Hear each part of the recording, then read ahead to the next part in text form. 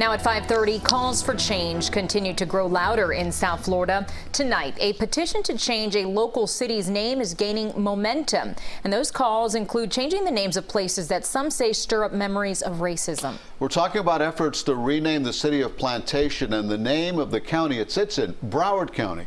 CBS 4's Joan Murray is in Fort Lauderdale to explain what's in a name, right, Joan?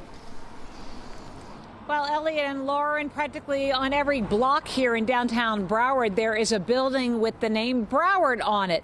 Many people do not know the history, but for some, it triggers very painful feelings. Same could be said for the city of Plantation just west of here, and that is why some are calling for change.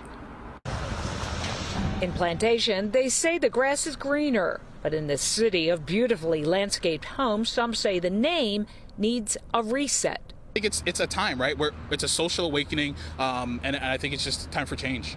Daryl Augusty has started a petition to change the name.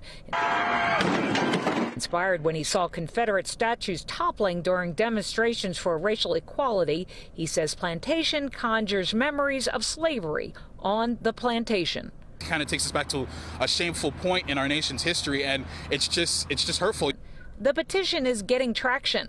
It would mean huge changes with everything from street names, churches, and schools containing the name Plantation.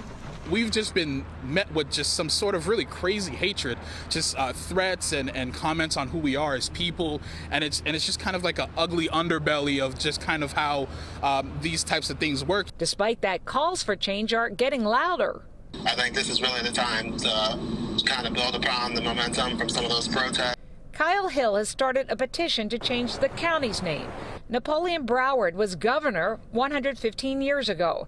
After his writings revealed he was a segregationist, his statue was removed from the courthouse in 2017. He was a racist figure and a segregationist, and I think the next logical step is just to go ahead and rename the county. It too would require a lot of renaming with signs in government buildings. That's ridiculous. This is the most multiracial place you'll find maybe even on the planet, and I've been all around. Like times are changing and names can change too.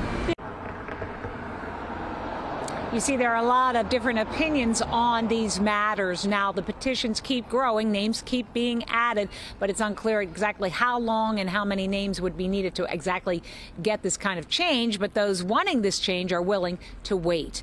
In Fort Lauderdale, Joan Murray, CBS 4 News.